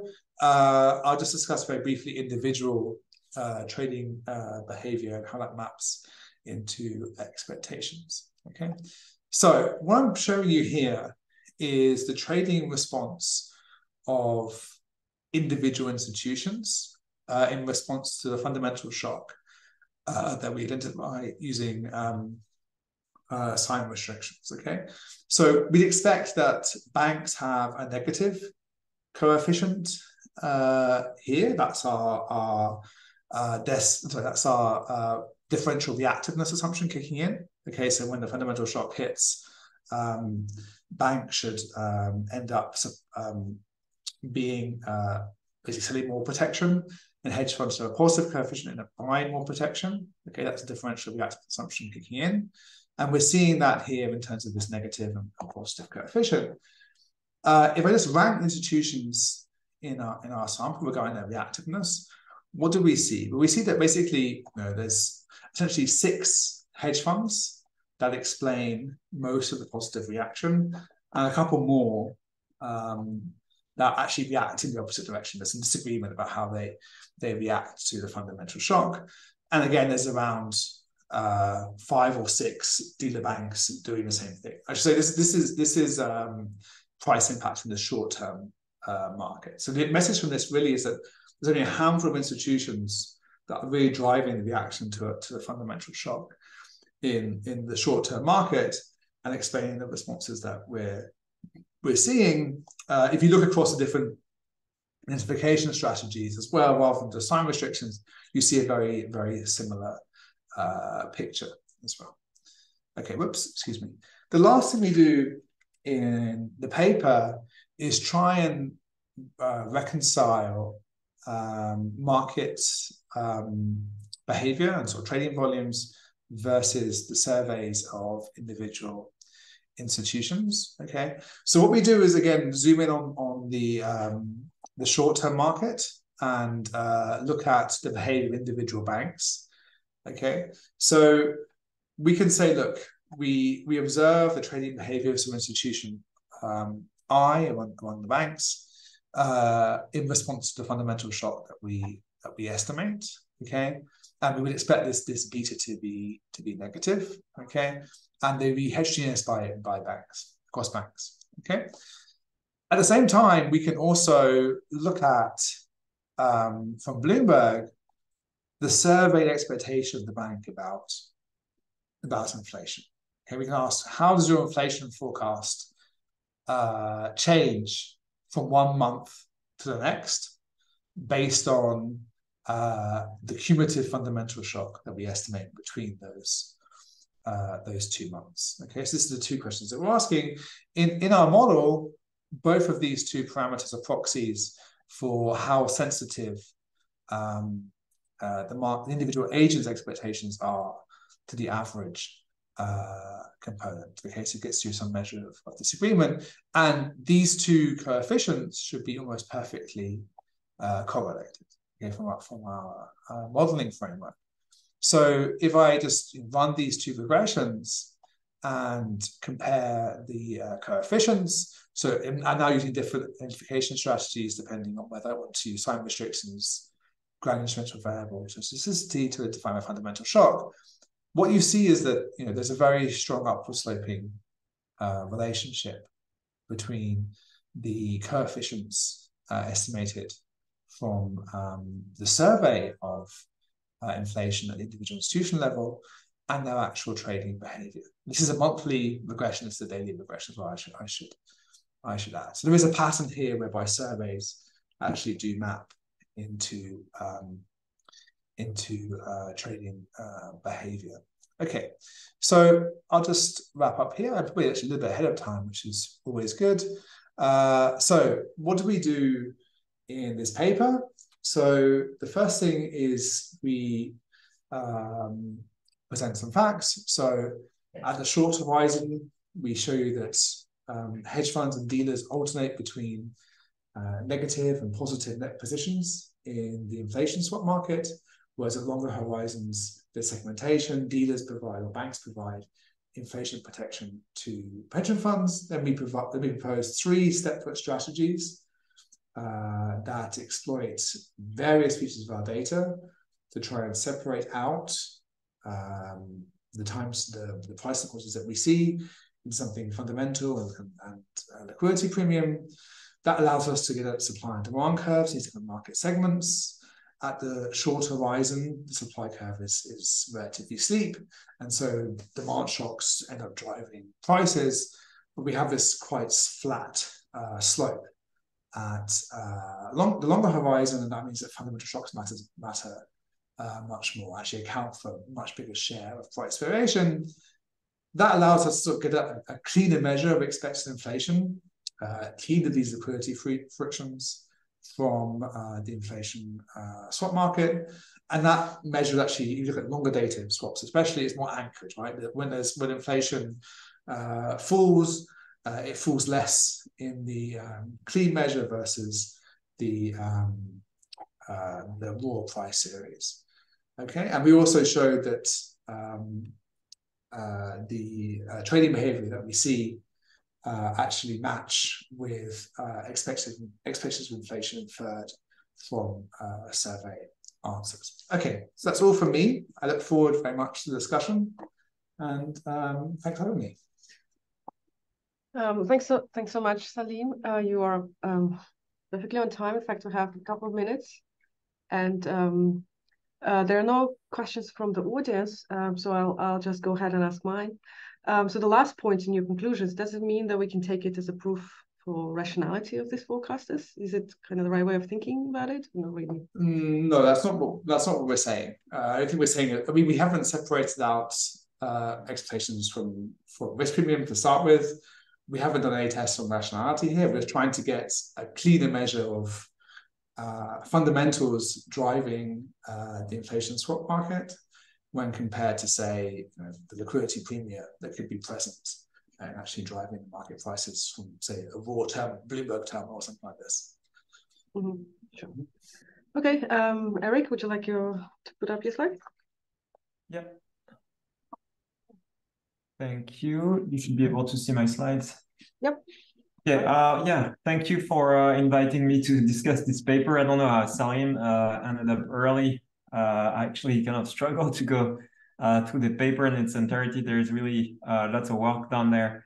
Um, I'll spend lots of time on what I, I view it as my summary, and then I'll talk a little bit about identification. I think I, I kind of it's very it's very convincing but i think there are like things that we can learn uh, from what they're doing and then i'll i'll say a word about you know once we have as Saleem said this clean measure of uh, expectation from swap prices uh, what what kind of outcomes can we look at? What do they look at? And, and what can we do with this?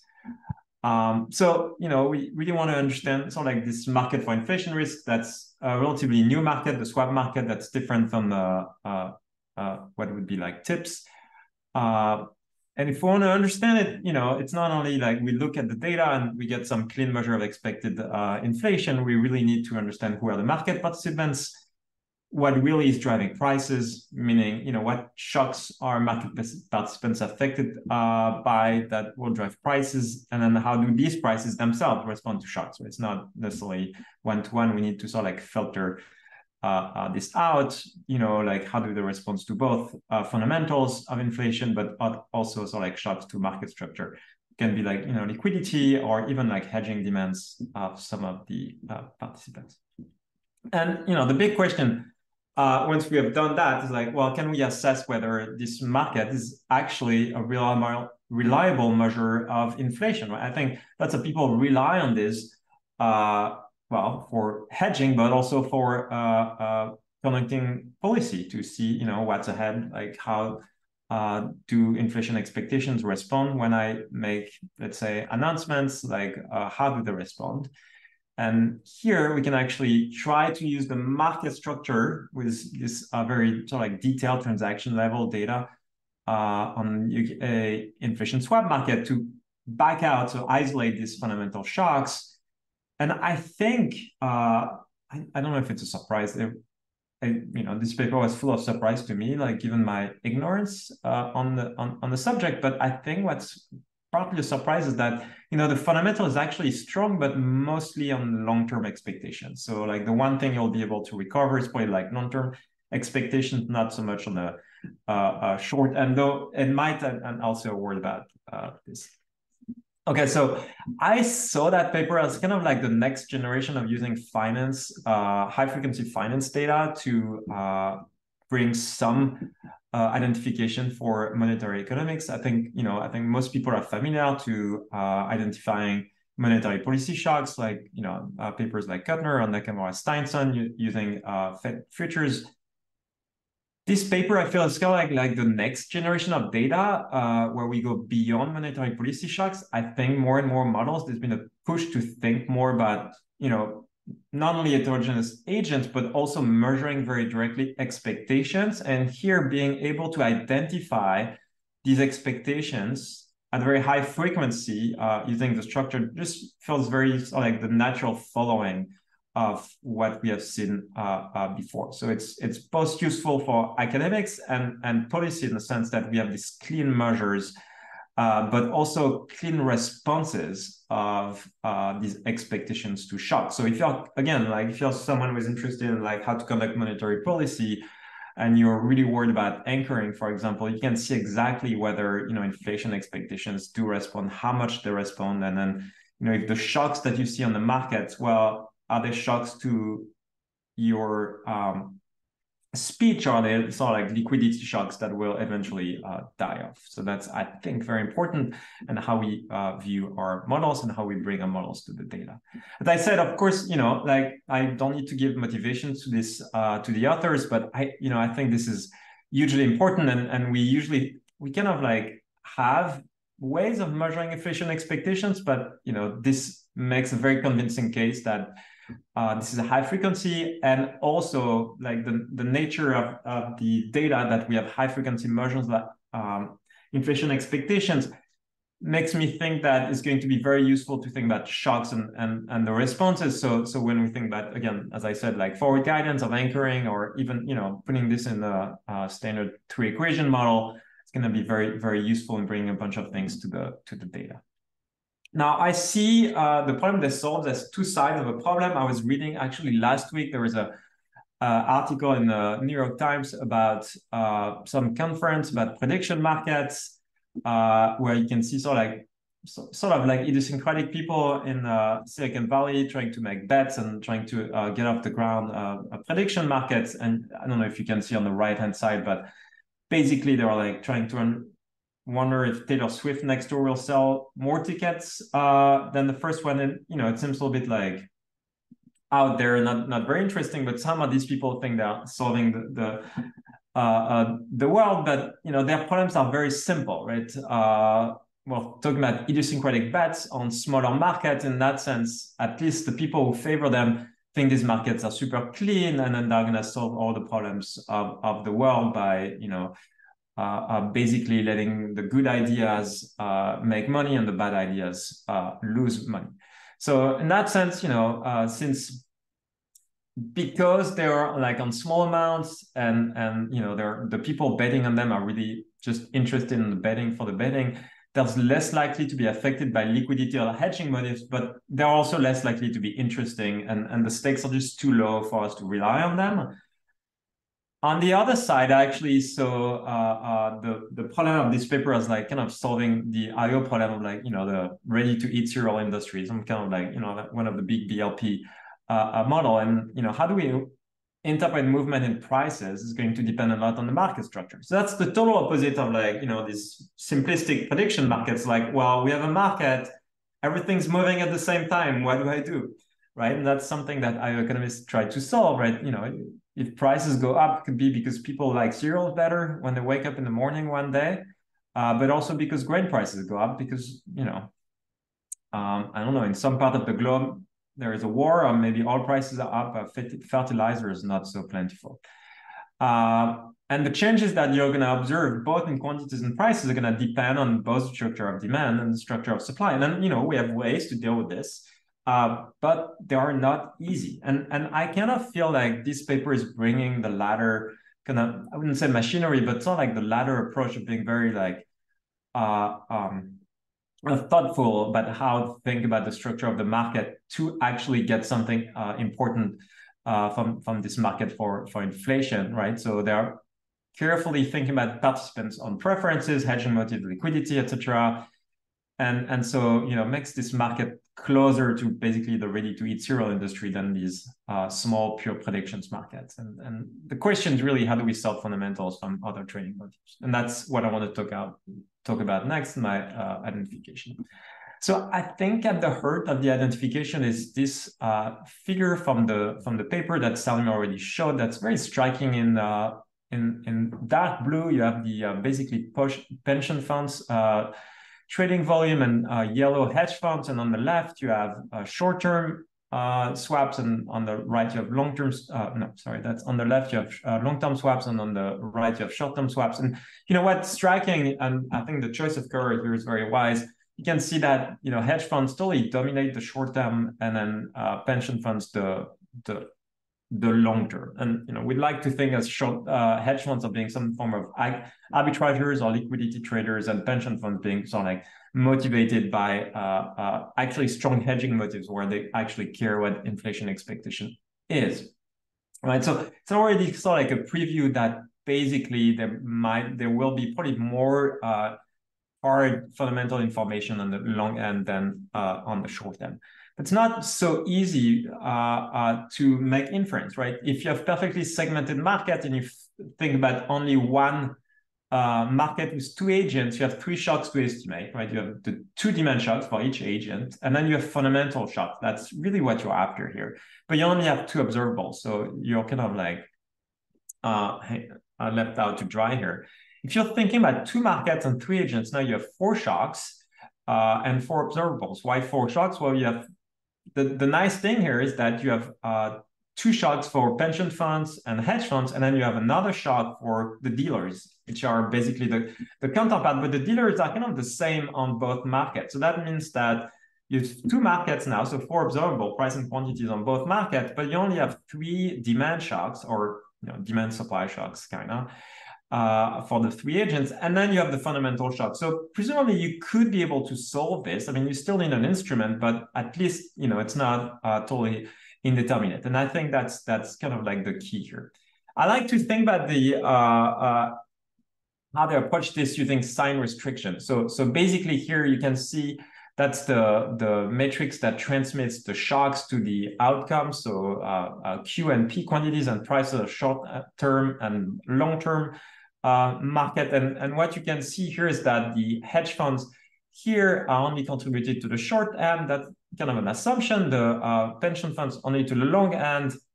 The dealer is going to behave the, the same way on the short and the long end. But what's crucial here is that you have some heterogeneity in how the long term, the short term respond to uh, uh, fundamental news. And that has to do with the fact that basically uh, uh, hedge funds are going to front run banks kind of on information and banks are going to front run themselves are going to themselves front run uh, uh, pension funds Okay, so I have actually like something I was a little bit confused about, and I had some issues with sign restrictions to think about the magnitude, right? So sign restrictions are going to put some restrictions how you actually going to run your identifications, but you know you can consider unit demand and price on both market, right? So just take the simplest uh, outcome. How can I back out uh, uh, the uh, shocks? And here, think about the two following transmission matrices. So the first one, I just replaced the plus and the minuses by ones and minus ones. And the second one just did a, a tiny change where pension funds are actually, uh, sorry, yeah, the shock to pension fund is actually going to have a slightly smaller impact on prices than in the other case, right? And then, you know, you just take the inverse of that matrix and then run it through your uh, uh, observable. And, and here's what you find for your shock. You invert the system. And I was actually kind of surprised. Maybe I, I made a mistake on here, but the point is not, is, is both that here, the first shock, you actually recover only non-fundamental shocks. Uh, but if you go through the second one, you actually recover non-fundamental shocks and some partially fundamental shock. My point is actually not so much that sometimes you have uh, non-fundamental shock, uh, depending on sort of like the magnitudes of the coefficient, uh, uh, while still respecting the sign restrictions. It's that you know, it's going. I mean, there are ways to deal with this, but it it is it does kind of like shut down a little bit a little bit of the the magnitudes, and I'm not quite sure how how, how to to think about this and how to deal with this. I have to say that the identification of are very convincing in the sense that they use kind of triangulation method by using three identification schemes and making sure they all match. So, you know, like this is really a criticism of this in uh, uh, uh, if it was by itself. The fact that they do it three times and sort of like kind of match should put this uh, to rest. But I'm still kind of curious of what what's going on and how how this actually uh, ends up working. Okay, so so the evidence for the ex ante sign restrictions are also kind of like I'd like to know a bit more. Like there is assumptions of no leakages between uh, the desk separation between the, the dealer while trading in both markets, and the fact that hedge funds trade, trade mostly on the short end.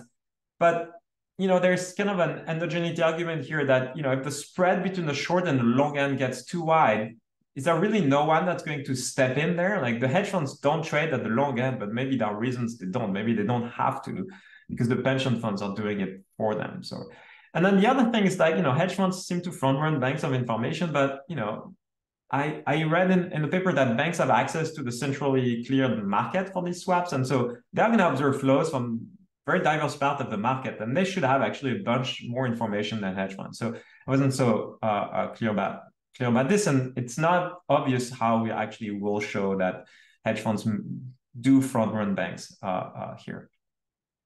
The second method I think was uh, uh, interesting, really kind of like what I like to call controlling for things. We're gonna extract uh, shocks on market participants by basically flexibly controlling uh, their uh, for, for, for their demand. And then, you know, once we back out uh, three shocks for each of the market participants, that's kind of enough to identify the systems of four simultaneous equation. Now, here actually the others kind of stop short of what i thought was interesting. Like they do the inference using interactive fixed effects but they don't actually tell us what are the factors. There is some theoretical motivations what these factors are but we never go back to oh do these factors actually match the interpretation of the model into sort of like a part that's liquidity a part that's fundamental? Like how are the loadings? And we could actually know what the loadings on these are like almost on a uh, investor level basis. So that would be sort of like neat to link heterogeneity in loadings and you know characteristics of, of these these investors. Then I have my usual like gripe with GIV that you know it's sort of like catch 22 if the shocks are large such that it's relevant it's also kind of hard to uh, to claim that it's like purely uh, exogenous right? So you know how can we exclude these shocks from other participants response? But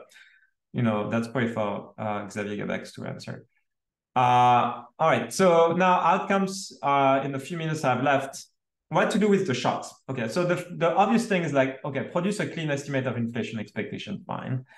The second thing that uh, I think Saleem showed, and I, I didn't see so much uh, uh, in the paper, but uh, Saleem showed some, some slides to that effect. So estimate the response of market participants to non-fundamental shocks and you know relate to the usual suspects of like capacity, capacity constraint, financing constraints of these uh, things.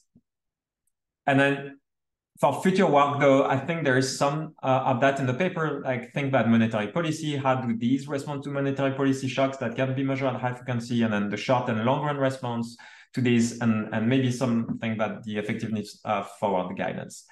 Uh, yeah, uh, skip this in the interest of time. So the forecasting that what, what Saleem showed is like the how their measure in blue actually match uh, inflation expectation.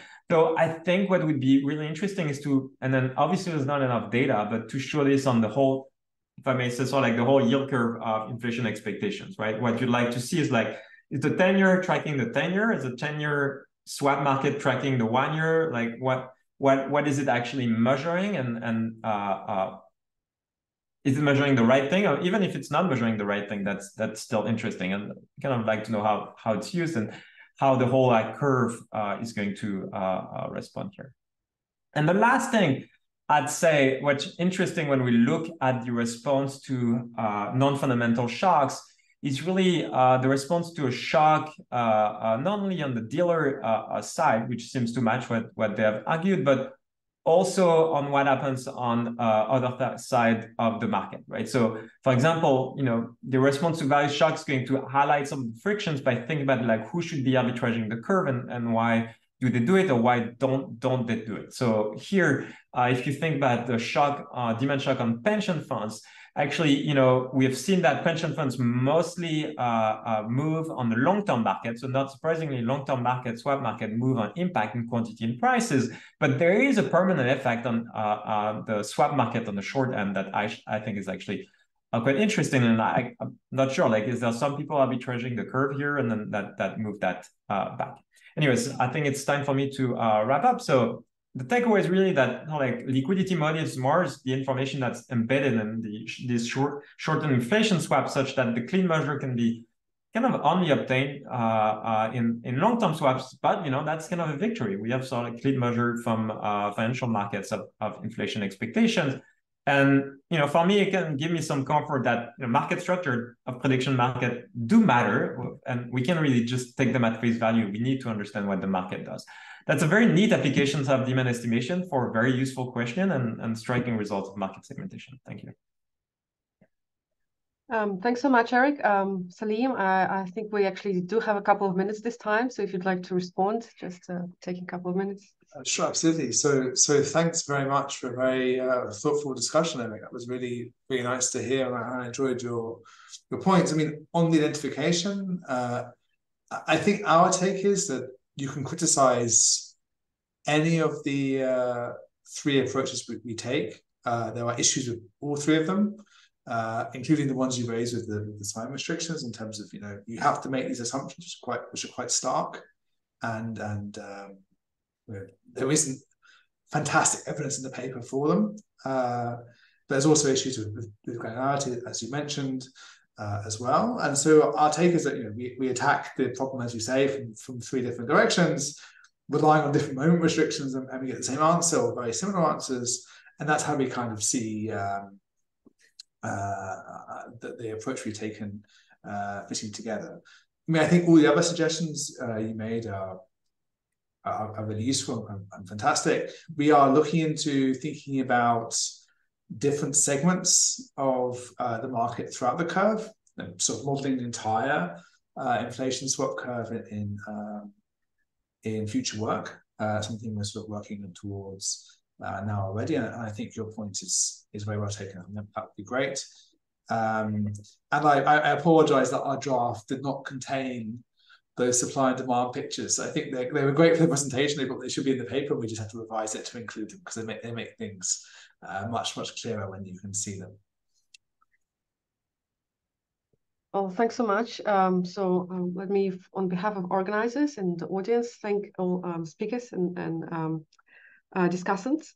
Uh, so please, if you are, haven't already subscribed, subscribe to our emails. There will be another thematic um, conference coming up. Uh, we do not have a date yet. Um, we're deliberating the um, theme as well. Um, but if you subscribe, you will get a notification. So hopefully that would be also, you can join the next one as well. Uh, thanks again.